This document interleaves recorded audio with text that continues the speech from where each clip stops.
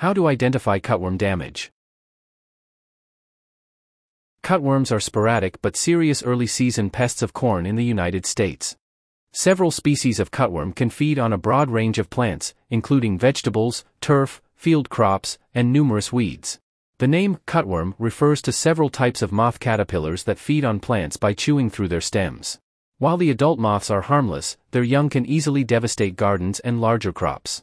If you think your garden might have cutworms, look for distinctive signs of damage such as plants that are cut off at the stem. You may also be able to find the cutworms themselves if you look at the right time of day or dig around in the soil. The purpose of this video is to provide for growers, consultants, and other agricultural professionals background information on cutworms, describe their injury to crops, and discuss management strategies.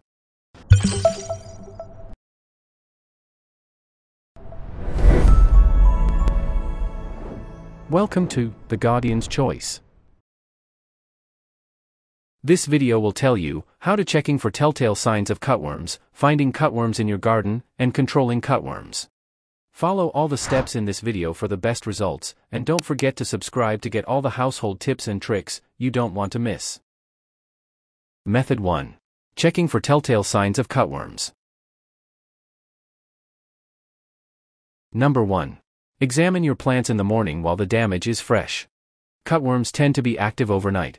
If you check on your plants first thing in the morning, you'll find it easier to spot the freshly chewed stems. Cutworms especially like young plants, so keep an eye on your seedlings or recent transplants in particular. Number 2. Look for plants that are cut off at the base. Most species of cutworms feed from the ground, where they mow down plants by chewing through their stems. In some cases, they will attack the roots and cut down the plant below the soil level.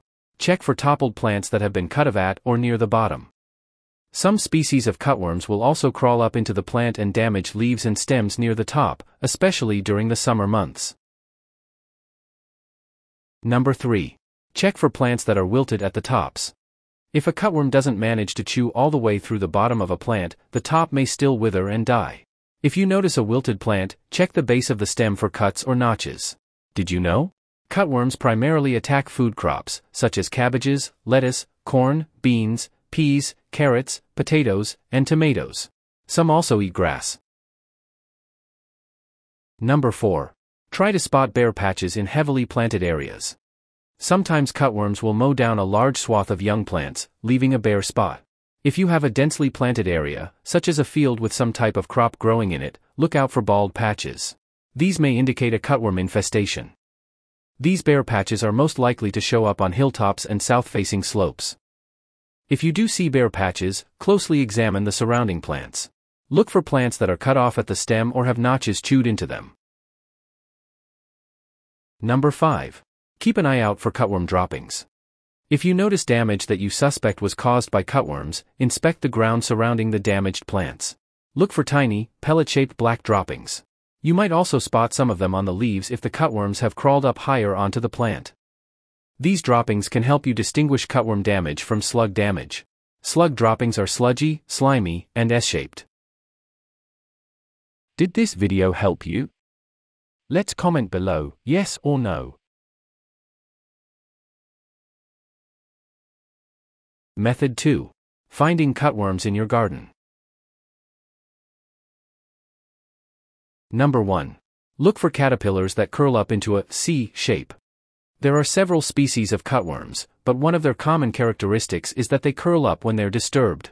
Check for fairly plain, grubby looking caterpillars that roll up into a C or a tight circle.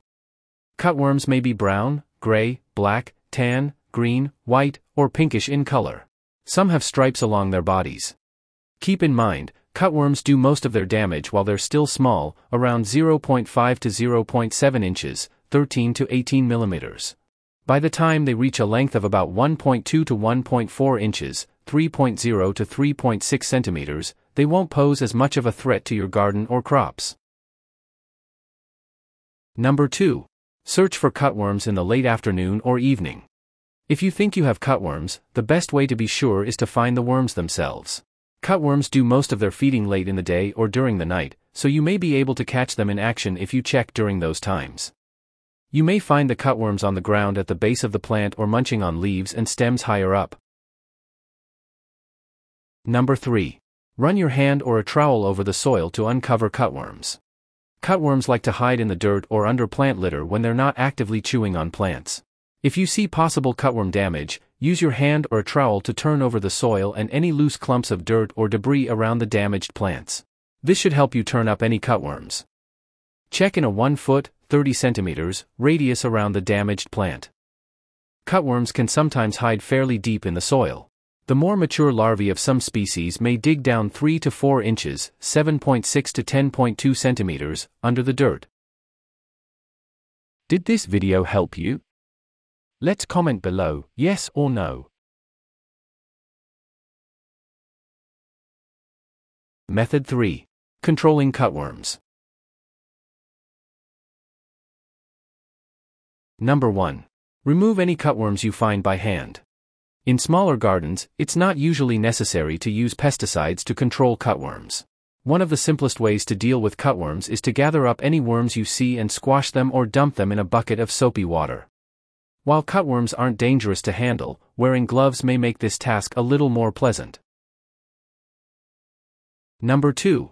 Create a dry soil buffer around your garden to discourage cutworms. Cutworms thrive in moist soil that is rich in plant material. To discourage cutworms from moving into your garden, surround the planted area with a more dry and uninviting soil material, such as sand or succulent soil. Create a buffer that's about 3 to 4 feet, 0.91 to 1.22 m, across around the border of your garden. Number 3. Keep your garden tidy to remove hiding and egg-laying places. Adult cutworm moths like to lay their eggs in leaf litter and other plant waste, and the young larvae enjoy munching on common garden weeds. You can discourage cutworms from invading your garden by cleaning up areas where eggs and young tend to gather. Clean up leaf litter, grass clippings, and other garden waste. Weed your garden regularly. Avoid fertilizing your garden with green manure, which is attractive to egg-laying adult cutworm moths. Instead, use compost. Till the soil in your garden both at the end of the growing season and before you start planting to destroy any larvae or pupae in the dirt. Number 4. Protect individual plant stems with cardboard shields. If you don't have a huge number of plants to protect, one effective strategy is to put a collar around the stem of each plant. Take a cardboard tube, such as a toilet paper tube, and place it around the base of the plant with the bottom end pushed about 3 inches 7.6 centimeters under the soil. You may need to cut a slit along one side of the cardboard tube so you can easily get it around the stem of the plant. Plastic or aluminum foil shields will also work. Number 5. Attract cutworm predators to your garden. One way to keep cutworms at bay is to invite in animals that eat them. Two of the major cutworm predators are birds and fireflies, so try some strategies to make your garden friendly to these creatures. Make your garden a firefly paradise by planting low shrubs and trees and cultivating some tall ornamental grasses. They also like bird baths, so put at least one in an area where fireflies like to gather. Attract birds by putting out bird feeders, bird baths, and nest boxes. They also enjoy hanging out in native trees, especially fruit trees, shrubs, and flowering plants, so plant some of those around your garden. Number 6. Try using pesticides for larger crops or severe infestations. If you're trying to protect a large food crop from a cutworm infestation, you may have to take more drastic measures. Consider using a pesticide such as carbaryl, cyfluthrin, or permethrin. For the best results, apply any pesticides in the late afternoon, when cutworms tend to start becoming active. Be aware that pesticides can also harm beneficial insects, such as butterflies. Only use this approach if you feel you absolutely have to.